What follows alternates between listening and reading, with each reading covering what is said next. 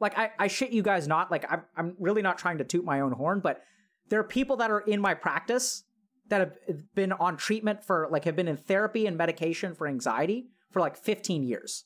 And within six months, we're taping them off of medication and they feel fantastic. Why? Is it because I'm a brilliant clinician? No, this is what I'm saying. I'm not actually any better. It's just I use tools that none of my colleagues use. I use Ayurveda.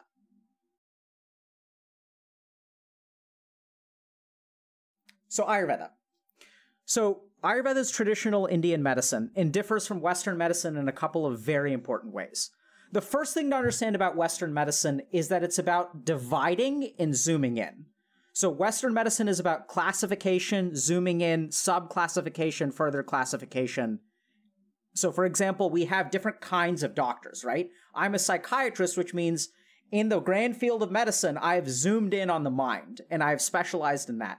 And then even further, I'm an addiction psychiatrist. So I zoom in on addictions and I specialize in that. And even more than that, I'm sort of like now becoming more and more of a technology addiction psychiatrist. So I'm like zooming in further and like learning more about technology addiction. So that's how Western medicine works. We sort of divide things into groups like cardiology, nephrology, hepatology, infectious disease, psychiatry, endocrinology, pediatrics, OB, OB-GYN, right? So we divide things into lots and lots of categories, and then we become super specialized in one category. Ayurveda is completely different. Ayurveda is not about zooming in, it's about generating patterns from multiple data points. So it's kind of looking at different dimensions of a person and trying to figure out how can we make correlations based on their physical body about what's going on in their mind. Is there some way that we can understand someone's bowel movements and how that will affect their mind. Is there a relationship between how prominent the veins on the back of their hand are? Like, I don't know if you guys can see this, but like my veins are kind of visible. And what that says about their mind. Is there a correlation between how cold their hands and fingers and feet get and their bowel movements? Is there a correlation between their mind and their skin? So Ayurveda looks at like lots of different dimensions of a person and tries to develop an overarching pattern that describes that individual. So that's like fundamentally different from Western medicine because what we do in Western medicine is we try to break patterns apart and zoom in and understand individual elements. It's like, how does the heart work in this person? What are the principles of the heart? Um, you know, so it's just, it's like the exact opposite. One is zooming in and one is building up. The other big difference between uh, Ayurveda and in Western medicine is like if we think about the gold standard of knowledge in each system of medicine. So in um, in Western medicine or allopathic medicine, the the standard that we use, the gold standard of our medicine, is something called a randomized controlled trial. This is abbreviated as an RCT. So an example of a randomized controlled trial is I take 10,000 people and let's say I'm trying to figure out depression. Then what I do is I split them into two groups, a control group and an intervention group. And I give 5,000 people an antidepressant and I give 5,000 people a sugar pill. Then what I do, the reason we called it controlled is because we try to make the two groups the same. We try to have them have the same socioeconomic status, the same average age, the same, same gender breakdown. So we try to remove a lot of the individuality so we can isolate the effect of the disease and the treatment. So we're trying to get treat depression, not individuals, and we're trying to use randomization and controlling for variables to remove any individuality from the equation. So I'm trying to just look at a disease in isolation and a treatment in isolation and see what the impact of the, the treatment is on the disease. So what this means practically is that Western medicine is not about treating people, it's about treating diseases. Um, and so that sort of like in a if you've sort of trained in Western medicine, you may think that that's the best way. But as you learn clinical medicine, you begin to realize that like people are fundamentally different, right? Like even if I prescribe, I'm a psychiatrist, I prescribe antidepressants from time to time, try to avoid it whenever possible. Um, but one of the things you quickly learn if you prescribe medication is that medication even though like antidepressants will have a moderate improvement in clinical trials for people, an individual may get better or may not get better at all if you give them an antidepressant. There's a lot of like individuality that enters medicine. The funny thing is that our system of medicine doesn't sort of factor that in. we don't really factor in individuality in terms of our, our clinical trials and the gold standard of our information. So Ayurveda is fundamentally different because Ayurveda like treats a person. It presumes that all human beings are different and that in order to like help someone, you have to understand like individually how they function. So I'll give you guys kind of an example. So Ayurveda divides all people into like these three, you have this thing called a doshic balance. And doshas are sort of the three three major patterns that kind of govern what people are like. So Ayurveda says, unlike Western, so uh, Ayurveda says that individuals have like a cognitive fingerprint that is like different, and that different peoples have different different people have different kinds of cognitive fingerprints. What do I mean by a cognitive fingerprint? When we think about Western psychology, we tend to think that all human beings sort of have like the same psychology, right? If you study psychology, you don't study like an individual, you uh, study like the different like patterns of psychology. So you study like motivation, you study things like habit, you study things like, um, you know, uh, let's say like hedonics, you study like cognitive behavioral therapy, you study like these general principles about the mind and like cognitive behavioral therapy applies to like everyone, right? You study kind of like one thing and it sort of assumes that it works for everyone because everyone's mind has cognitions, has emotions, and has behaviors, and that those three things are related. Ayurveda starts by saying that everyone's mind is unique, and that in order to help people, we have to understand what kind of mind they have because the kind of treatment or intervention that we want to use depends on the kind of mind that they have. So I started using this phrase cognitive fingerprint, and I used this idea of cognitive fingerprint, which is like your unique cognitive makeup. And once we understand your unique cognitive fingerprint, we can structure your life or your diet or your environment to fit with your cognitive fingerprint. And one of the biggest problems that I think a lot of gamers run into is that they assume that they're lazy or they're not functional or they do a bad job because they're using sort of a, a standard gold standard uh, they're using a gold standard of what it means to be successful like a standard cognitive fingerprint. So i'll give you an example like they think that you should be disciplined. They think that you should be focused. They think that you should wake up at the same time every day. They think that you know these are the things that lead to success. Whereas ayurveda says actually that's not that's just one route to success and if your cognitive fingerprint is different, that the way that you can like be be successful is to kind of play to your strengths. So I think this is going to be way easier to understand once I actually explain starts explaining specifics. So the first thing is that there are three doshas: Vata, Pitta, and Kapha. So Vata is kind of like the wind, Pitta is kind of like fire, and Kapha is kind of like earth. Okay, so this should work great for gamers because these are like the elements of your Pokemon, right? So like if you have a Vata mind, you're like an air Pokemon. If there's an air po- Pokemon or like grass or some shit, right? If you're a Pitta Pokemon, you're like a fire Pokemon. If you're a Kapha Pokemon, you're like an earth or water Pokemon. So I'll give you guys an example. So Vatas are like the wind. So I'm super Vata. So Vatas have memories and mindsets that are like the wind. So I get really, really passionate very easily. Like I blow, I'm like a gust of wind. So I get super excited. And I say that I'm going to teach about Ayurveda today. And I get super hyped up about it. And I blow really hard about Ayurveda. And then like a week later, I, just like the wind, I just randomly die down. So my mind gets super excited about stuff and then like randomly dies down. So I get really, I get excited about stuff, but follow through is very difficult for my mind. Other examples of of vatas include like interests that change very quickly. So you know, um, like a month ago, I was reading a bunch about Carl Jung, and now I'm like, okay, I'm done with Jung. I'm ready to move on to something else.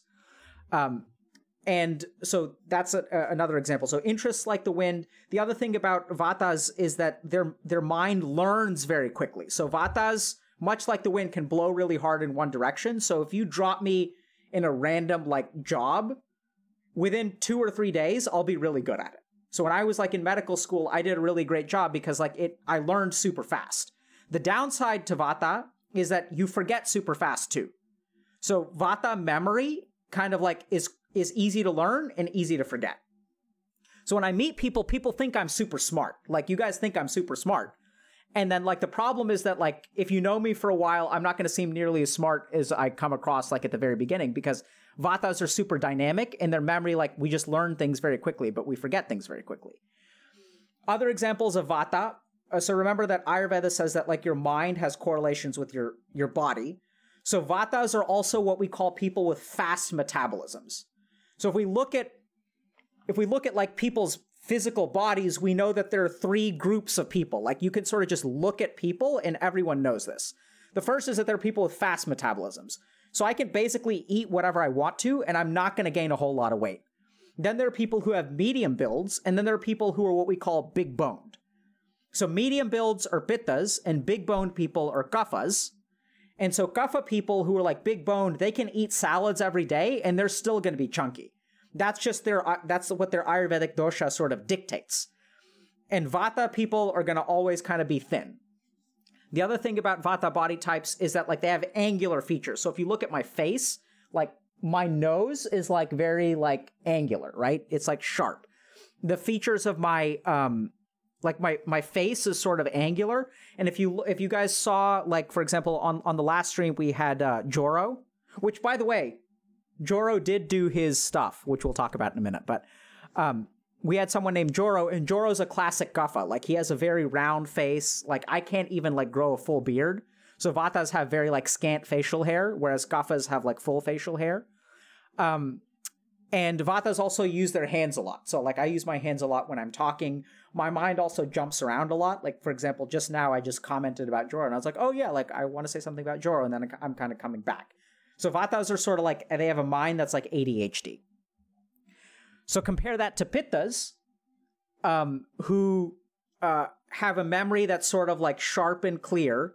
Pitta's personalities, unlike being, they're not they're not as dynamic as Vatas, but they're very driven. They're very focused. Pitta uh, Pitta mindset is a very argumentative. So if you guys have seen Tom on stream, like he's a good example of a Pitta. He's kind of like medium build, not very skinny, not very fat. Um, he also like believes that like once he understands something, that's the way it is. So like Pittas have a difficulty between understanding like opinion and fact. Like if they if they have logically concluded something, they think that that is objectively correct.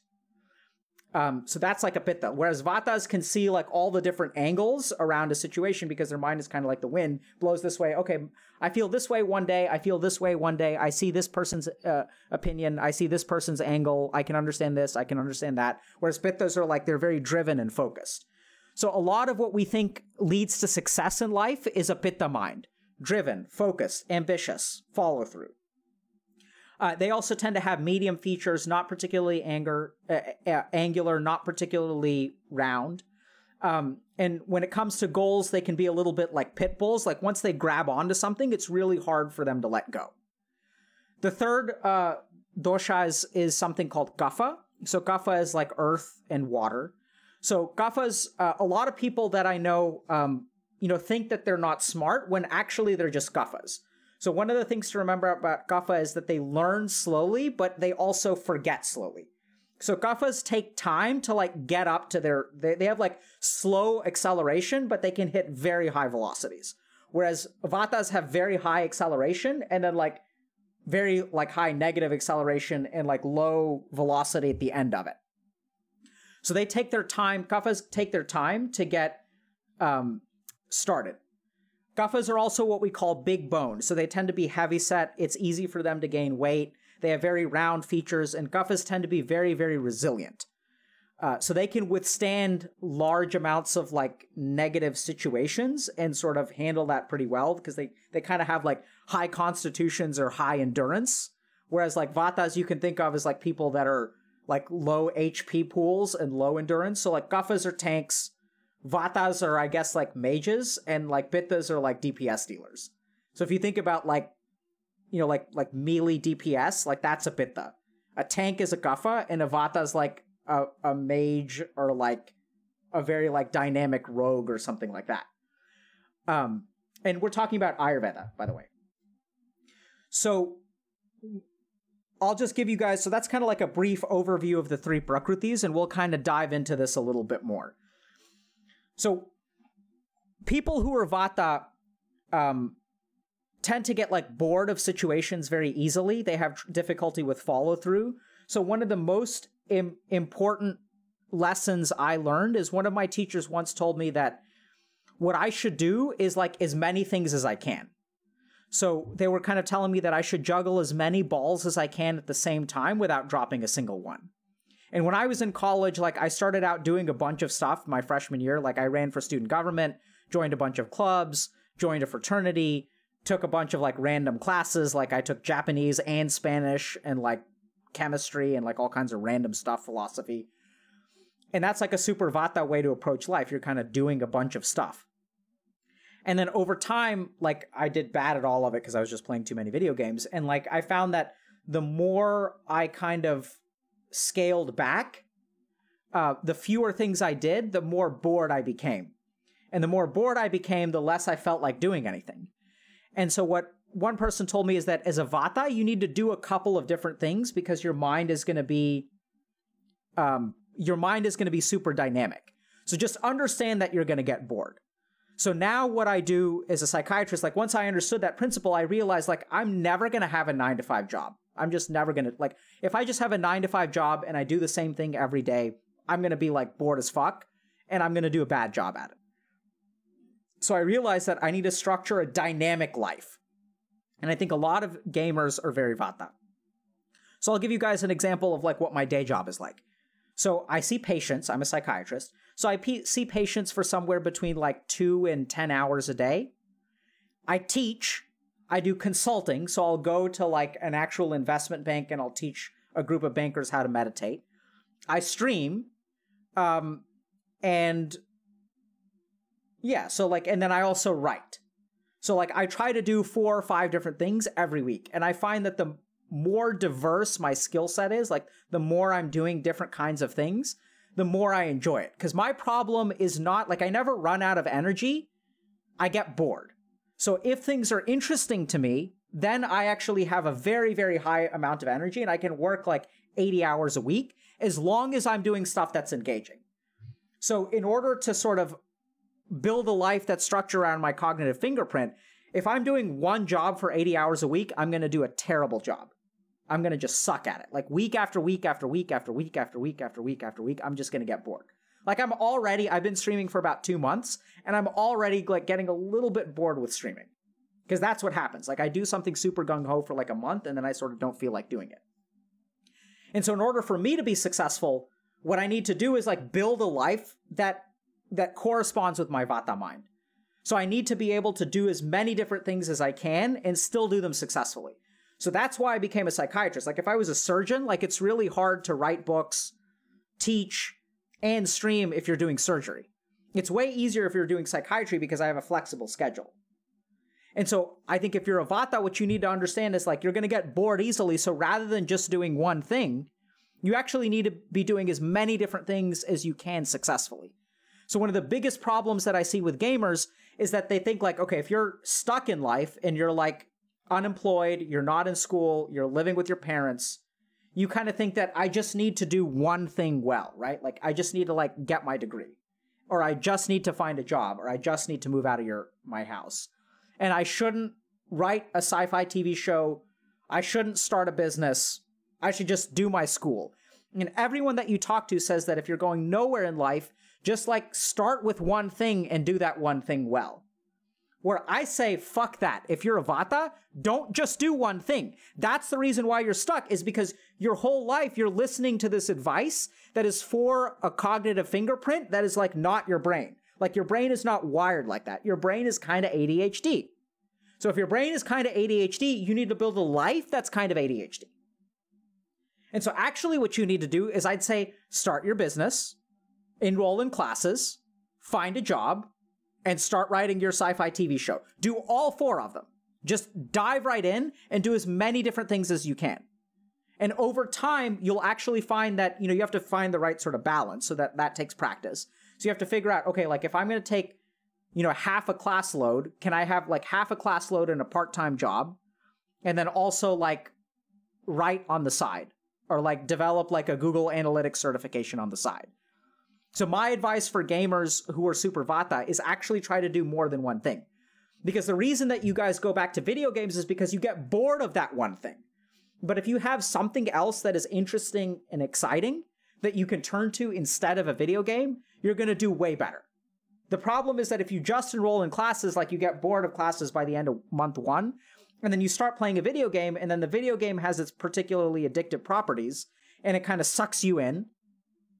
And by the way, video games are very satisfying to vatas, especially if you play like a lot of different video games. But if you think about like an MMO, like what how does an MMO like keep you engaged? It's because an MMO isn't just one thing, right?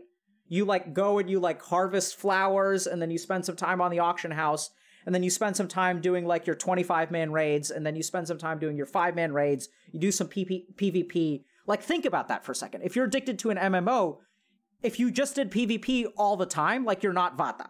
The reason that a lot of people fall into uh, MMOs is because MMOs offer a really wide skill set, uh, like kinds of activities that engage your mind in different ways.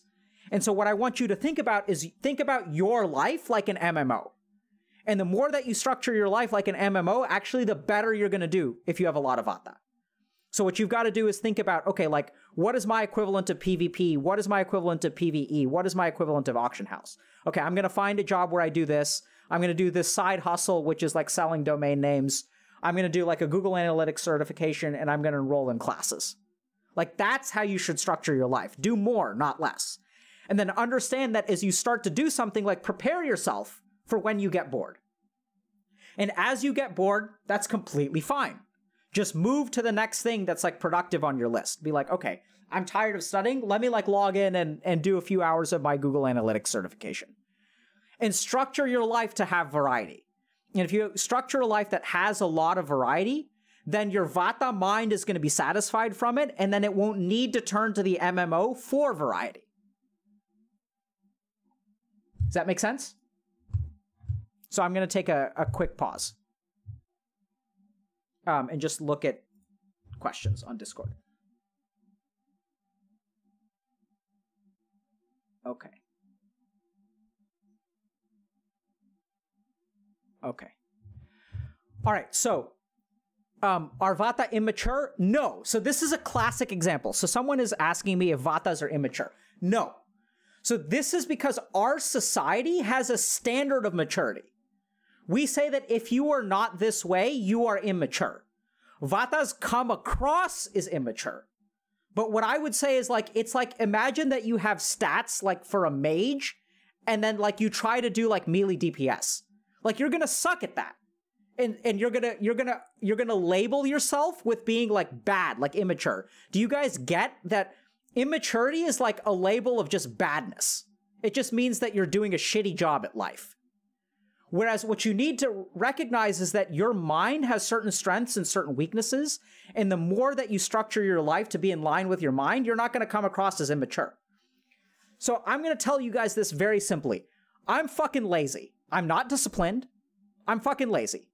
I I still love to play video games. I procrastinate. I don't like to do work. I play video games instead of doing work. I'm actually no different from you. I don't think my stats are different from like pretty much anyone on stream.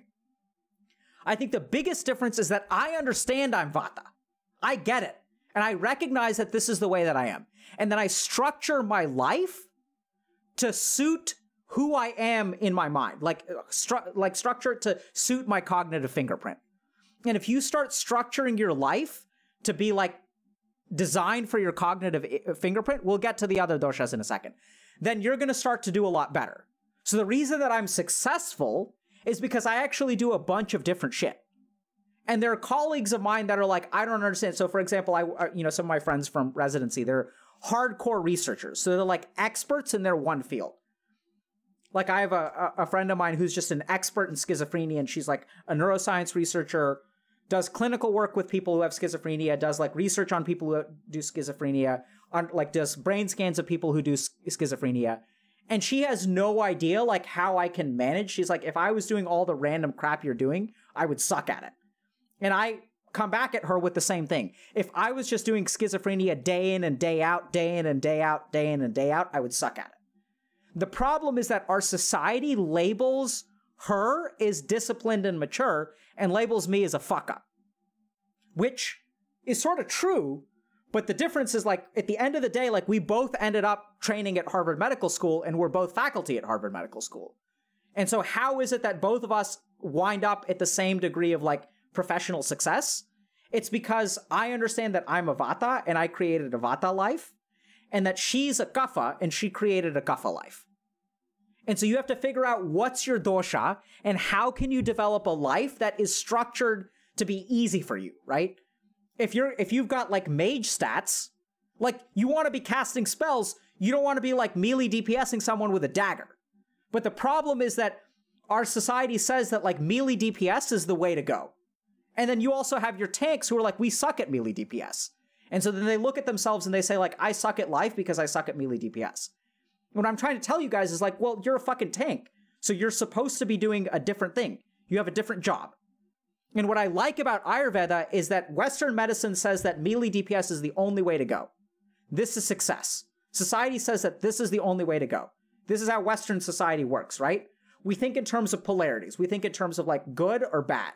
We don't really think in terms of shade, shades of gray. We think like Republican or Democrat. We think like conservative or liberal. We think about like everything is like a pol- like a polarity. And but that's just not how we are. There's like uh, like human beings are a spectrum.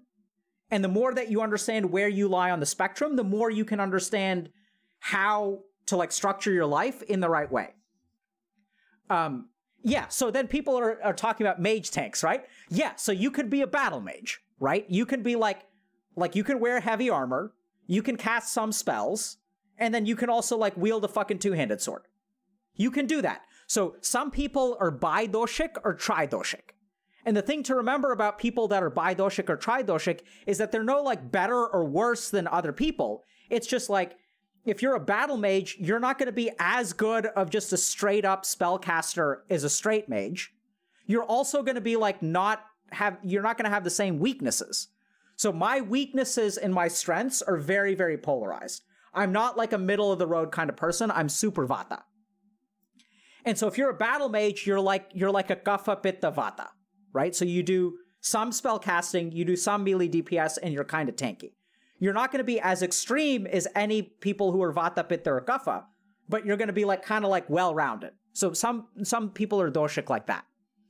So if you're not Vata, let's go through the other ones, right? So if you're Pitta, you're driven, you're focused, you're argumentative. I want you guys to imagine like a dog that like latches onto something and doesn't let go.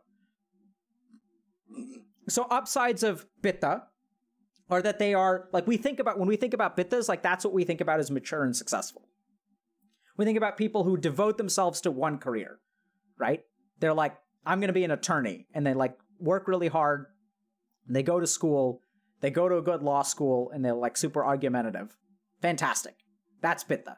Downsides of Pitta, they're obsessional, right? So if you guys have seen like Tom's stream and stuff like that, Tom has an obsessional mind. He gets like super caught up with stuff. He can't let things go. So it's not like Pittas are better than Vatas. We just have to understand the the strengths and weaknesses of each one. So Pittas tend to be driven and argumentative, but also have like a lot of problems with like anger and irritability. So like Pittas get bent out of shape. They create a lot of like interpersonal conflict. They rub shoulders with people the wrong way. They're gonna kind of like you know when it comes to um like advancement, you know they're hyper competitive, which can kind of screw them over or allow them to be successful right? So that's a pitta. So that has certain strengths and certain weaknesses. Um, and then kapha is like your tank. So kaphas are stable, they're resilient, which means they can withstand a lot of punishment. So Vata would have quit two weeks in. A Pitta is going to stick around for some time and then like move on to the next thing. A Kapha will like stay true to whatever they're doing, sometimes to the point of excess. So the best friend that you can have is a kapha. And I want you guys to think about the people that you know in your life. You know that person who you met who was like intensely friendly to you and they were like, "Man, you are the most awesome person in the in the world. We are best friends forever." You had this like really really intense friendship with them. You guys did everything and then they fucking fell off the face of the earth. They just like one day they disappeared and then you just never saw them again. And that's your vata friend right? Your pitta friend is the person who's like pretty reliable. You can count on them, but like it's just fucking annoying to argue with them. Like you, they get into arguments with you about stupid shit, and you just can't. Like you're never gonna win an argument with them because they're just gonna never like listen to your point of view. And That's a pitta. Your kapha is the friend that you've been with for ten years. They're the person who's always been there for you. They reach out to you from time to time. You guys stay in touch. Or if you're that kind of person, that's a kapha friend. So it's not like one is better than the other. These are just different dimensions. And so kaphas are resilient, they're stable. Like, so you should understand that you're able to withstand punishment that a lot of other people, you have staying power, you have endurance, you're going to outlast other people. And over time, kaphas, the, the problem that kaphas get into is that sometimes they can, they're so good at withstanding punishment that they don't make changes when they need to. Whereas vatas make changes when they shouldn't. They're like, okay, I have a great job, I'm going to fucking quit because I'm bored. They should stick with it, but they don't. Kaphas, on the other hand, find themselves in a bad situation or like a bad relationship, and they like they stick with it even though they should leave. So I'm going to address a couple of questions. Um, the first thing is, can people have like multiple uh, amounts? Absolutely. So some people can have like a vata memory and like a kapha, let's say like mm, let me think about this. So like people can be like have kapha friendships and a vata memory. Like generally speaking, they kind of lump together, but everyone is Tridoshic. Everyone has some level of each. So I want you guys to imagine that you have like imagine these are like stats. So like instead of like strength, intelligence, and like constitution, imagine that you have a Vata score, a Pitta score, and a Kapha score. And actually, there are you can hold on. Um,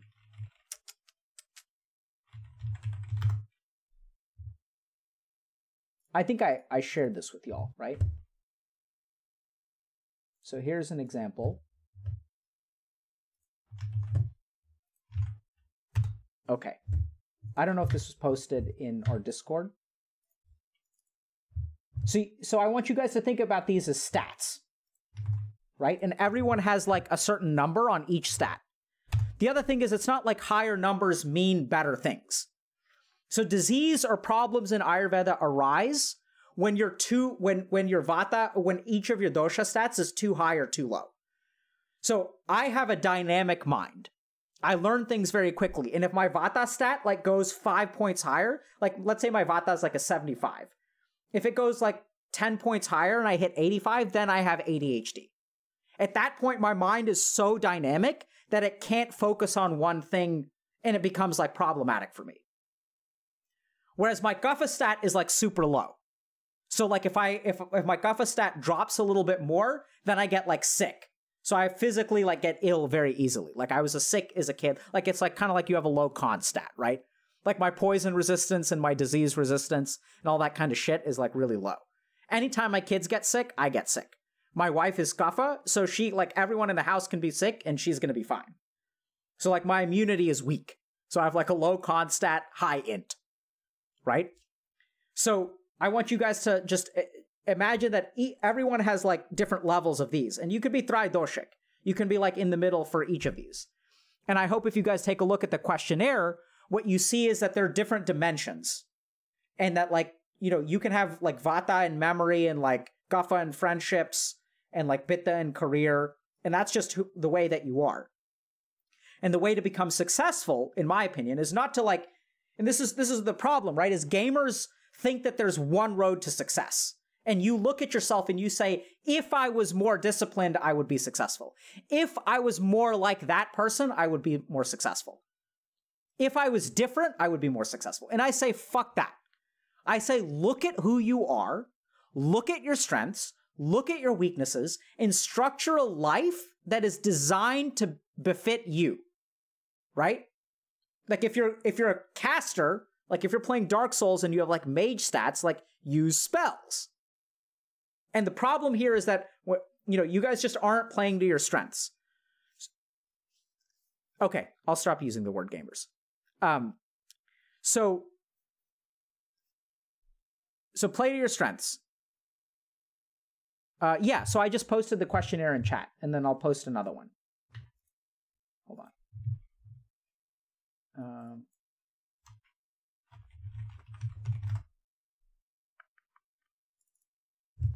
so here's another example. So here's one that incorporates physical attributes as well. So what we're going to do, uh, you know, actually what I think I'll do is just, I'm going to switch streams for just a second. Okay, and what we're going to do. So let me just modify some of this stuff. Okay, we're going to go to this.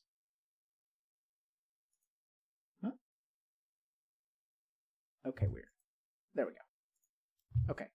So here's an example of the the Prakriti questionnaire, okay? So this includes physical and mental stuff. So if, I don't know if you guys can read this, but this is weight. So vatas are usually thin, often difficult to put on weight, visible ribs. Medium build, good muscle tone is kaphas. I mean, is pittas. Kaphas are larger, difficult to lose weight, heavy bones. Vata skin is dry, cool, thin. Pitta skin is like oily, smooth, and warm with a lot of freckles or color in their face. So you guys should go look at Joro and look at the fucking color in his face. He's got a ton of color in his face. Kaphas have like thick skin, cool skin, oily. So hair tends to be like thin, kinky. Like I don't know if you guys see this, but like my hair is like kinky as fuck. You guys see this? Like it it it it kinks. Like you see this action like it's not straight. Um so uh, Pittas have like male pattern baldness oftentimes. Um, and Kapha's hair is like thick, wavy, oily, lustrous. So the other thing that's really interesting, I don't know if I'm going to see if I can. Yeah, kinky hair, I know. So I want you guys to look at the top of my eyelid and see how it covers like the top of my iris. That's classically Vata. So there are even things like the more of your iris you can see, that's like pittas. You can see the entire iris of their eyes. And so there are all kinds of physical, oh, this is great, appetite. There are all kinds of physical features. So my diagnostic question for Vatas is, are your eyes larger than your stomach? And what I mean by that is that do, do you get intensely hungry and then get satisfied with a relatively small amount of food? Like you feel like you can eat like a, like, you know, 10 pounds of barbecue, but then you eat like half a plate and you're like, actually, I'm kind of full. So that's that's a classic vata appetite, where your eyes are bigger than your stomach, and you feel super, super hungry. And you feel hungry erratically. Pittas have sort of an excessive appetite, Kaphas have sort of a stable, regular appetite. Um, Vatas tend to be prone to constipation.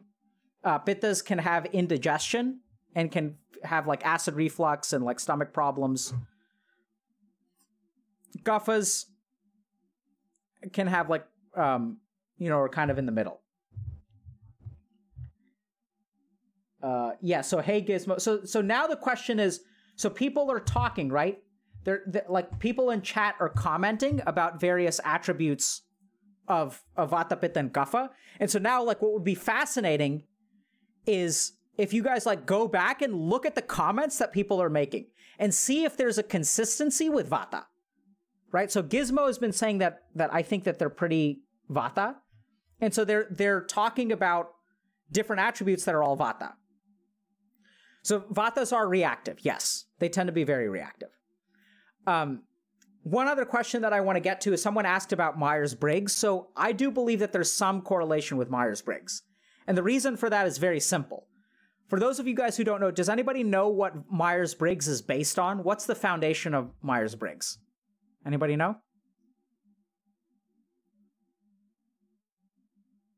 You can be a chubby vata. Nope, Myers Briggs is not based on the Big Five. Yeah, so as Esther Q has it right, based on Carl Jung. You know what? this is fascinating. You know what Carl Jung's theories are based on? Did he come up with them himself? Nope, not Freud. Incorrect. Nope, not Nietzsche. Dank Moses has it correct. Carl Jung's theories are actually based on Ayurveda and Hindu philosophy. Right? So Carl Jung studies Ayurveda and then comes up with theories. And then Myers Briggs studies Carl Jung and then comes up with Myers Briggs. And so it correlates to Vata, Pitta, and Kapha. So just think about this for a second. Remember that Western psychology assumes that the mind is like uniform, right? The body is uniform. The heart functions a particular way, the mind functions a particular way. That's how it works. And then Myers Briggs comes along and, and says people are fundamentally different, that not everyone is the same way, that there are introverts and extroverts, that there are people who judge and feel, right? Intuitive and perceptive that fundamentally they're different kinds of human beings. Where did they get that idea? Why is it so contrary to the the the rest of Western psychology? Because it's based on Jung. Because Jung said people are fundamentally different. And then the question becomes where did Jung learn it? He studied Ayurveda. So I'm going to show you guys interesting book. Okay?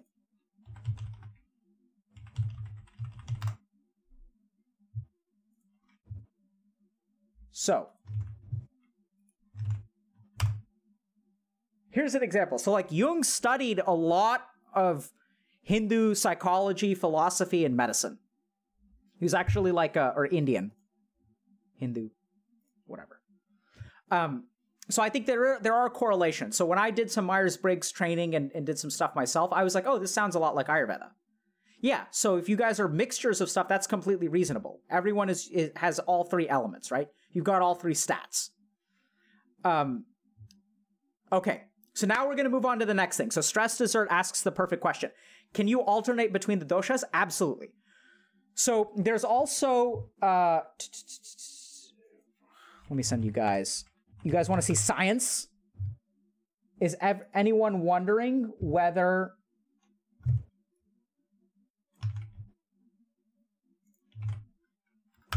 Any anyone wondering whether there's any science behind this stuff? Like, is this is this like just this is just theory, right? There's no like science behind it. This guy's like he's one of these complementary and alternative like homeopath Reiki people. It's not real. Come on, can't be real,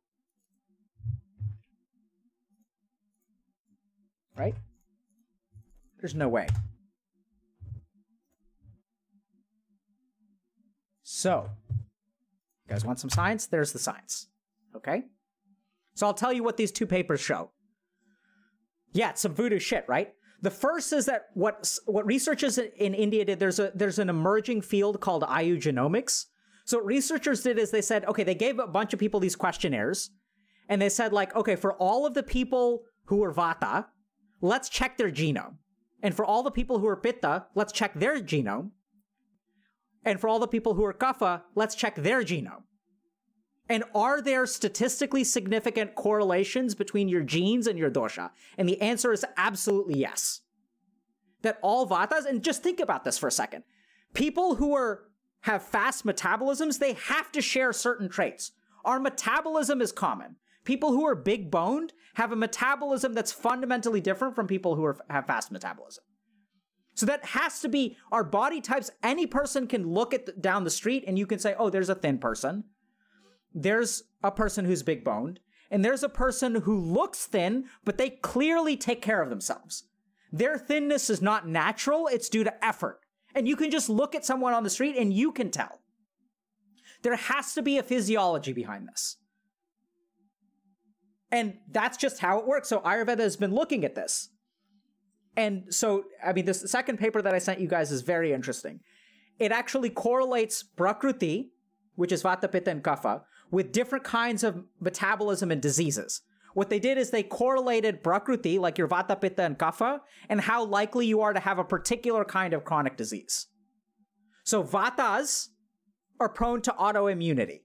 Autoimmune disease is a Vata disease. Pittas are prone to other kinds of diseases. Kaphas are prone to things like type 2 diabetes. Right? So there are correlations now. So now there's a there's a huge area of research emerging in Ayurveda. And the more that we study it, the more that we scientifically analyze it, the more correct it turns out to be. Absolutely. So I want you guys to look back at like everything that Gizmo has said. Gizmo is textbook Vata. Has fucking lupus, has ADHD mind, is super Vata, has eyes that are larger than their stomach. Right? Like has an autoimmune disease. Like I can't diagnose people over the internet, but you know, we kind of diagnosed Gizmo over the internet. Like I don't know anything about Gizmo, but I can predict that the likelihood that Gizmo has an autoimmune disease is greater than other people who are Pitta or Kapha. So that's what's awesome about Ayurveda. Like you can make predictions about your life. And if you uh if you sort of understand that, then that's that's fantastic because you can start to live accordingly. So the cool thing about Ayurveda is that if you do have an autoimmune disease, if you do vata lowering treatments, your autoimmune disease should get better. Right? So, like, if you adjust your vata, now we get to the, the next thing, which is um, someone was asking a little bit about changing your uh, doshic level, which you absolutely can do. So, the next thing I want you guys to understand is that everyone has a prakruti, which is your genetic amount of vata, pitta, and kapha it's like the stats that you were you were like created with. So when you make a character like you have a strength of 10, an int of 5, and an endurance of 20, fine. Then what Ayurveda, the, the way that Ayurvedic treatment works is that they modify your your your stats, right? They give you like buffs and debuffs that raise your strength or raise your int or lower your endurance. Like it's kind of weird because we just think about strength uh, attributes as being purely positive. That's called your vikruti. So the vikruti is the amount that your vata, pitta, and kapha are deviated from the norm. So Ayurveda has treatments like food, for example. There are some foods that will lower your vata, buff your vata. Some foods that will debuff your vata. Foods that increase kapha and decrease kapha. And foods that increase pitta and decrease pitta. There are lifestyle changes you can make. Is APOE4 pitta? That is a great question. I don't know, but let's find out. Let's do. Let's see if someone has studied this. That question is too good to derail me. See, this is me being Vata. I'm on a roll, and then I just stop. Uh, ha ha! Ah, shit. This is not a peer reviewed article. Is this peer reviewed article? I don't know what this journal is. Okay, I don't know.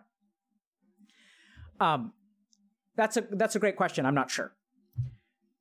Uh, okay.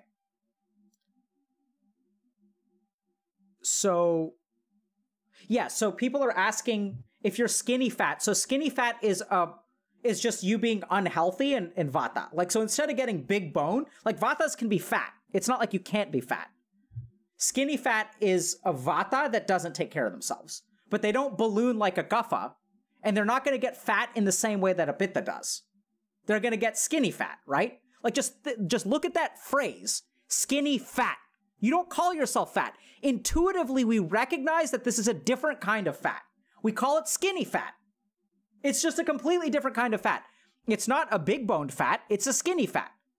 So vata is like uh, doshas are, are simple to, to see in your own life and simple to observe. You can see kind of the proof right in front of you with the term skinny fat. It's not big bone fat, it's skinny fat. We know that big bone fat is a different kind of fat than skinny fat. That's what Ayurveda says, is that there isn't one kind of fat. There isn't one kind of mind. There isn't one kind of personality. There isn't one kind of memory. Understand which category you fall into. And once you understand which category you fall into, you can adjust yourself accordingly because the solutions for skinny fat and big bone fat are actually different. That you need different things to, res- to ideally fix skinny fat and ideally fix big bone fat. Um, okay. So where can I find uh, the the suggested diet and so on for Vata? Okay, so we're going to talk about diet and Vata right now, and then we're going to also talk a little bit about different mental health issues and Vata, Pitta, and Kapha, and then we're going to jump to questions. Simplest thing you can do for Vata. You have to get your bowels moving regularly. So if you're constipated, fix the constipation. Number one. Okay? Even bowel movements. Vatas are cold and dry, and so you want to eat foods that are warm and moist. So any anytime you have an option between soup and salad, pick soup. Vatas have weak digestion, so their digestive power is not very high. So you want to cook foods before you eat them. If we think about like if you eat like a cooked carrot versus a raw carrot, they taste very different. Both of them are sweet, but a cooked carrot is way sweeter. So some of the process of digestion has already been done for you. You've broken down some of like the, the walls of the cellular structure of carrots so that the sweetness is more available to you. So Vatas should eat foods that are warm and moist. So avoid things like toast. If you have a, an option between toast and oatmeal in the morning, go with oatmeal. For pittas, you want to avoid foods that are warm and wet. So you want to eat things that are cold and dry. So, like a, a sandwich is a great food for a pitta. Salad is a great food for a pitta. Kaphas are cold and wet, so you want to eat foods that are warm and dry. So toast is great food for a pitta. I mean, sorry, kapha. Okay, so cold and dry is vata, so you want to eat foods that are warm and wet. Pitta is warm and wet, so you want to eat foods that are cold and dry. And kapha is cold and wet, so you want to eat foods that are warm and dry. So that's the simplest change to make. You guys can also like Google different, like you can just Google Ayurvedic diet, and I'm sure you guys will find stuff, and you can sort of test it yourself. So there are also six tastes: sour, sweet, pungent, or uh, sorry, astringent, spicy. Let me think about this: sour, sweet, salty, spicy, astringent, and bitter. Those are the six tastes. Yeah, so umami is different. So in Ayurveda, there are six tastes, and there, there are particular tastes for each um, vata as well. Um, so that's what I would say to start with vata, pitta, and kapha. Ah, not necessarily. So gluten sensitivity is um, is is a completely different thing, right? So gluten is is a prime example of like Western thinking. So gluten says gluten sensitivity says that gluten, one individual compound, is the problem for everyone. So if you have like if you have a pro-allergic thing to gluten, like that allergy is vata. But what I would say about gluten sensitivity is if you fix your vata, your ability to tolerate gluten should get better. So remember that some people have celiac disease, which is a true allergy to gluten, and that some people have gluten insensitivity. But if you improve your vata, if you lower your vata, your ability to tolerate gluten should improve. Uh, okay. So we have, um, yeah, so it's autoimmune, but that's exactly what I'm saying, right? Is like you guys have to understand that vata corrects, in general, autoimmunity. So if you have MS, if you have rheumatoid arthritis, if you have lupus, any of the patients that I work with, when they come in with these things, I give them vata reducing diets and they tend to get better. Um, okay, so now we're going to talk a little bit about specifically about mental, mental health in Ayurveda. So when a vata mind. So we're going to talk about how stress affects the minds of people with different doshas differently. Okay. So how does stress affect your mind depending on what your dosha is? When a vata person undergoes stress, their mind becomes anxious. When a pitta person undergoes stress, their mind becomes irritable or angry. And when a kapha person undergoes stress, they become depressive and isolative. You can even look at. Let me actually. Uh, let me see if I can find Ayurveda Journal of Health Kanojia.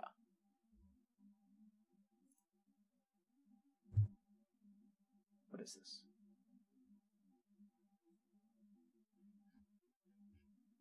Is this me? I wrote a paper about this. So I wrote a paper in the Ayurveda Journal of Health about different kinds of depression. So there's like this thing called an anxious depression, which is like a depression that like people's mind is moving very fast. They have difficulty sleeping, like they're insomnia. So I want you guys, yeah. And then there's a kapha depression, which is like uh, what we call a neurovegetative depression. So like people they're they're hyper they have hypersomnia so they sleep too much, they move very slowly, their thoughts are very slow.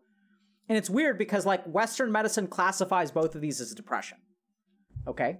So like DSM-5 anxious depression. Let's see if I can find you guys a good source on this because I can't find. If someone can find the paper that I wrote in the Ayurveda Journal of Health, everything is laid out there. But it's kind of bizarre that in psychiatry, if you look at the DSM-5 criteria for for depression, you can have insomnia or hypersomnia. Like just think about that for a second. That they call it sleep disturbance. But like they say that depression is the same whether you sleep too much or you sleep too little. That just doesn't make sense to me. So another criteria for DSM uh, DSM-5 criteria for depression is appetite changes. They call it appetite changes. What that means is that you can eat too much or eat too little. Both of those qualify as depression. It blows my mind as a clinician that a disease where you eat too little is the same as where you eat too much. Those are two different diseases, my friends. If you sleep too little or you sleep too much, we call both of those things depression. Those are two different diseases. There's a vata depression and there's a kapha depression. There's an anxious depression and there's a neurovegetative depression. And clinicians understand this. If you talk to someone who prescribes antidepressants, we have two classes of antidepressants. Clinicians understand this. We have activating antidepressants, which give people a pep in their step. And then we have like calming antidepressants. We have some antidepressants that are also anti anxiety medications and we have some antidepressants that are not anti anxiety medications. So clinicians understand that there are different kinds of depression, but in Western science, like we just haven't figured this out yet. Actually, actually, we have. I do have another paper for you. So there's also a pitta depression. So you can have a vata depression, a pitta depression, and a kapha depression. Anger attacks. Let me find this in PubMed. I, I gotta just be a reference person. Hold on. I know this is maybe not what you guys are interested in. Anger attacks. So this is fascinating paper. Here we go. Maurizio Fava. Okay, you guys have to check out this paper. Fascinating. You guys want to see pitta depression? Read this paper. Maurizio Fava is the associate chief of psychiatry at Massachusetts General Hospital. Guy's absolutely brilliant. He's a depression researcher. And he discovered back in 98 that there is another subtype of depression, not just anxious, not just neurovegetative, but what he calls depression with anger attacks. That's pitta depression. The neurotransmitter profile for depression with anger attacks is different from the neurotransmitter profile for anxious depression and neurovegetative depression the neurotransmitters in each of these depressions is different, and that's been studied. So I'm telling you guys, like, Ayurveda is like has this spot on. And if you understand that when you're under stress, do you get anxious? Do you get pissed? Or do you get depressive? Why is this thing blurry? So, this is an example of Ayurveda right? And that people respond to stresses in different ways. And if you get if you get angry angry or irritable when you're under stress you should eat foods that are cold and dry. Absolutely right? So double mitt dave is saying i get angry and just tested this pitta in the test. Yeah so and someone else was saying like are, it doesn't this create a cognitive bias? Like yeah it can but i don't think it's a cognitive bias because people don't know anything about this. They just they just circle things, right? A cognitive bias requires knowledge ahead of time. The other thing is, I'm confident based on the genetic testing that is statistically significant that this has real scientific merit. Right? So then the question is for those of you who are, yeah, so Gizmo. Gizmo is our textbook Vata. Lupus gets anxious. That's what I'm telling you guys. So the cool thing, the really cool thing about Ayurveda is if Gizmo balances their Vata, their lupus is going to get better, their anxiety is going to get better. Their sleep is going to get better. Their skin is going to get better. Their bowel movements are going to get better. Because if you lower the Vata, everything that is associated with elevated Vata is going to get better. And in Western medicine, we understand this concept clinically as well. When I'm working with someone who has depression and addictions, when one thing goes bad, everything goes bad. So in psychiatry, we have a saying that all boats rise together. So the water level determines the state of all of your disease processes. We know that if you treat someone's anxiety, their IBS gets better. We know if you treat someone's depression, their fibromyalgia gets better right? We know this. We know that these things are clinically correlated, but our system of Western medicine is is looking at individual things and tunneling down, doesn't look at patterns and doesn't look at overarching changes.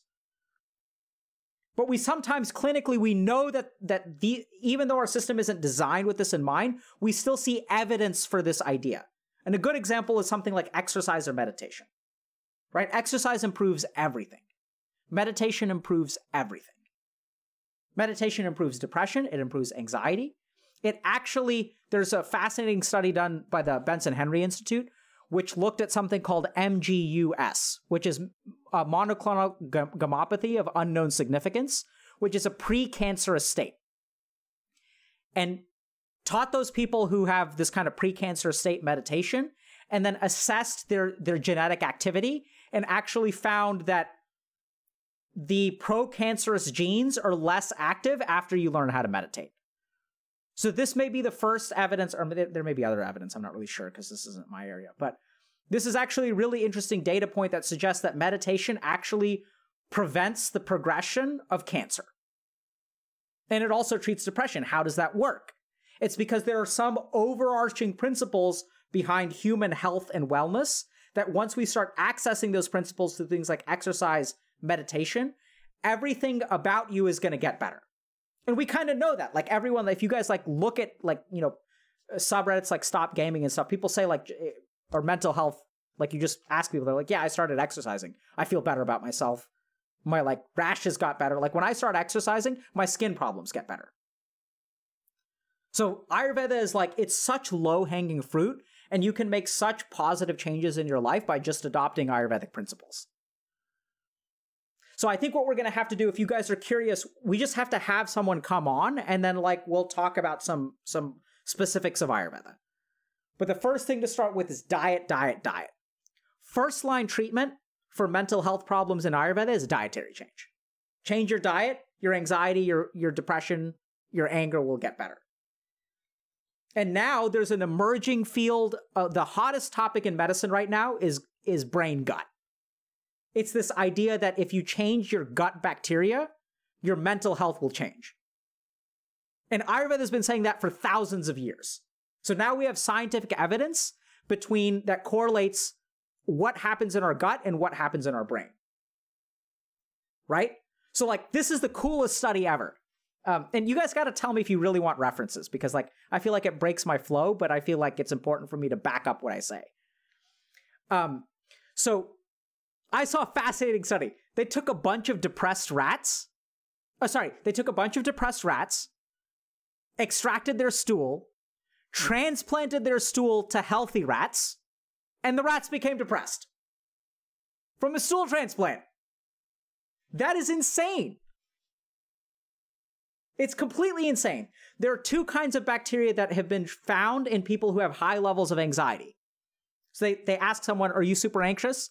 People who say yes, they test your gut bacteria. There are two kinds of bacteria that people have high levels uh, have high levels of bacteria if they're anxious. If people test low for anxiety, there's a different two bacteria that are very prominent. Fascinating stuff. And so if you think about how does diet change your gut bacteria? So if you eat a particular kind of food, you guys have to understand that different gut bacteria have different digestive enzymes. So lactobacillus, which if you guys see probiotic stuff, lactobacillus eats what? Does anybody know? Eats lactose. So if you eat a lot of lactose, what do you think is going to happen to the lactobacillus in your gut? It's going to grow because that's what it eats. So there are some bacteria that eat simple sugars, some bacteria that eat lactose, some bacteria that eat complex carbohydrates, some bacteria that eat fiber, some bacteria that eat proteins. Like different bacteria eat different kinds of things. And so if you change your bacteria, I mean, if you change your diet, you're going to be feeding some kinds of bacteria and you're going to be killing off or starving other kinds of bacteria. So, how does diet improve depression? It's because there's some bacteria that are sending inflammatory signals to your brain that cause depression. Also, a fascinating, uh, really fascinating uh, study that I just saw recently. People start, uh, did a, a brief clinical trial of giving people anti inflammatories when they're depressed, and their depression got better. So some bacteria create a lot of inflammation, like bacteria that eat uh, that digest processed foods create a lot of inflammation. And when they create inflammation, it causes depression. Yeah. So, like the fascinating thing is that, you know, people have been believing in Ayurveda. You want to believe in it, fine. The reason that I'm excited behind it and the reason that I'm such a proponent of it is because there's actually science to back it up now. We're not quite at the level of clinical studies, but the basic science really suggests that Ayurveda is is is good and is correct. And I've seen enough clinic clinical or anecdotal improvement to where I believe it. So, um, people are wondering what what food do I eat to cure depression? See, this is the wrong thinking. Remember, we just talked about how there are three kinds of depression. There's anxious depression, there's depression with anger attacks, and there's neurovegetative depression. Depression is not one thing. That's a Western concept, that there's one thing called depression. And all depression has the same treatment. That's exactly what I'm trying to say is incorrect. There are different kinds of depression. What kind of depression do you have? What's your Ayurvedic dosha? That's where you're going to find the right treatment. You guys get that? Like, that's the whole point behind what I'm saying. This is why depression is so fucking hard to cure because it's not one disease. That's like saying, what do I eat to cure cancer? What is the medicine for cancer? There are different kinds of cancer, my dudes.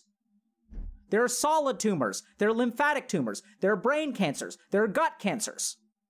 Each of these cancers has a different chemotherapeutic regimen. They're fast growing cancers, they're slow growing cancers. Each of them has a different treatment. The reason that depression is hard to treat is because people treat it like a monolithic disease.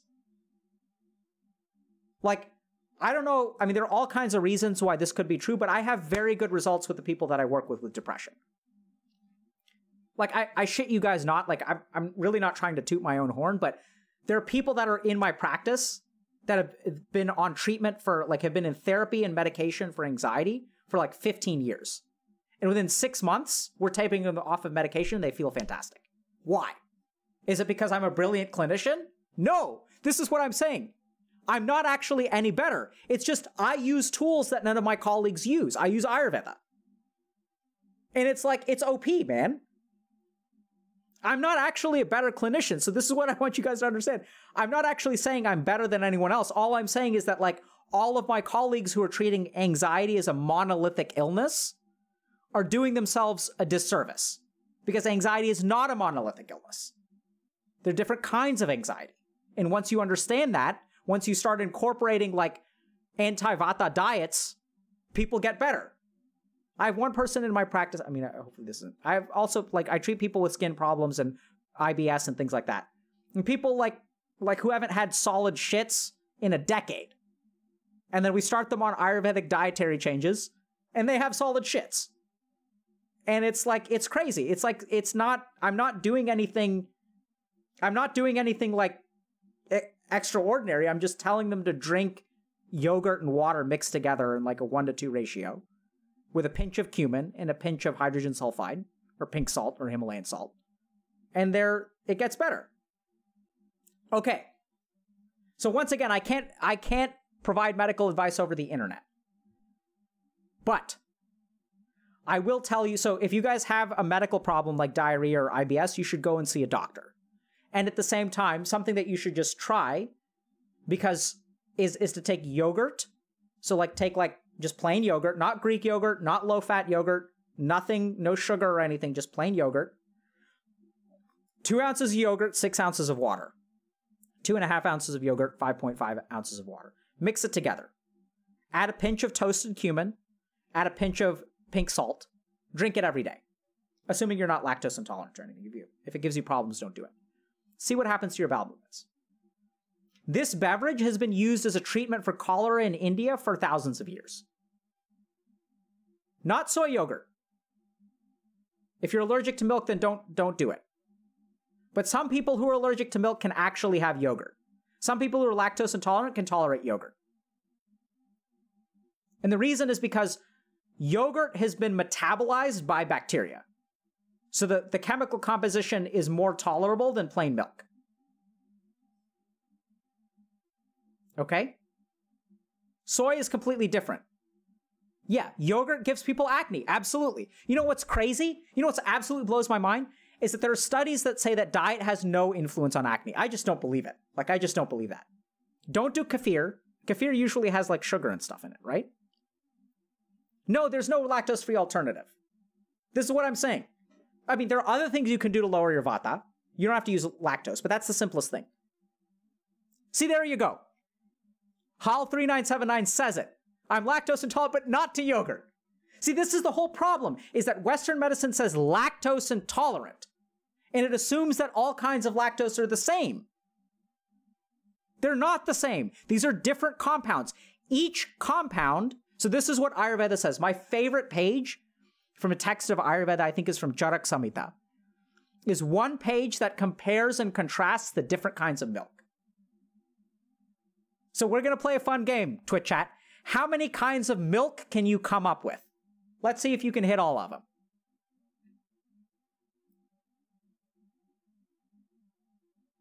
Whey isn't milk. Whey is a compound within milk. Nope. Nope. None of these are correct. This is not milk. There we go. There we go. Soy milk is not milk, my dudes. Skim milk is not milk. Goat. Cow. What else? Where else can we get human milk? Absolutely. Sheep's milk. What else? We've got four. You already said milk. Human beings don't drink cat milk. Buffalo milk, five. Good. So we've got goat, sheep, cow, human, buffalo. What else? What else do humans drink milk from? Anyone know? Camel milk, yes. And? Not daddy's milk, that's disgusting. Trees? No. Bats? No. No. No. We already got goats. One more. A horse, yeah. And elephant. Elephant is the last milk. It's fascinating. This this page, people, humans don't drink cat milk. Humans drink milks from hooved animals. That's what we drink milk from, right? We drink milk from domesticated animals. We have domesticated elephants in India. Right? We don't drink dog milk. We don't drink carnivores' milk. You guys realize that? Just think about that for a second. If you observe the world, you will learn all kinds of fascinating things about humans. Human beings drink milk from hooved animals, not carnivores. Why the fuck that is, I don't know. But Ayurveda says don't drink milk from a carnivore. Like, I don't know why. I don't know why. Right? Just think about that. We don't drink milk from carnivores, but we do drink milk from herbivores. We dr- drink milk from hooved mammals. And then this text page of Ayurveda says that the different milks are good for alleviating different doshas, and that different milks are treatments for different things. So if a human being is recovering from malaria, they should have a certain kind of milk. And if they have active malaria, they should have a different kind of milk. Like, this is the specificity that Ayurveda has. It breaks down each and every food that we have and says that an apple is different from an orange that a lime is different from an orange, that a lemon is different from a lime, that all fruits, five servings of fruits and vegetables is they're not all the same. And we know this, right? So, for example, if you have a weak digestion, you have difficulty digesting foods, you should eat papayas and pomegranates on alternate days. Right? So we like Ayurveda has been saying that, and naturopathy has been saying that for thousands of years. And now we know through science that papaya has this enzyme called papain, which like breaks down food. So it makes digestion easy. If you guys go to like a health food store, you go to the supplement aisle, you'll see papain enzyme is a dietary supplement to help you break things down. And for those of you guys who marinate food, why do you marinate things? Why do you never marinate in papaya? You guys know why you never marinate in papaya? Anybody know? Okay, we're gonna do a fun game. We're gonna do a fun game. If you guys Yes, right? So like if you marinate in so- something in papaya, it turns it turns to mush. It just straight like dissolves it and it's like a puddle of like mud when you're done. So if you guys don't believe me, try it, right? So if if what I say is if you guys don't believe me, by all means try it. If you guys are not if you don't have faith in the fact that we can predict things and the references have been insufficient, just try it. So what would you say if pears always give me diarrhea? I'd say stop eating pears. right? So this is the thing is that everyone's everyone's digestive systems are different. And Ayurveda will tell you what kinds of food to eat and not eat. It's clear to me that we're going to have to do a lot more stuff on Ayurveda. So I'm to have to like write stuff up for you guys. Like guides to this stuff from start to finish. I'll do it. I've started already. But yeah. Okay. Let's do questions.